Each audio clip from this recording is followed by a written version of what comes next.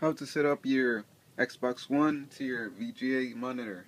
You will need um, Elgato capture card. You run the HDMI from the Xbox One to the Elgato and this USB goes to the Mac or Windows and then this this one you don't really need it it's the HDMI and you see it's the VGA on the monitor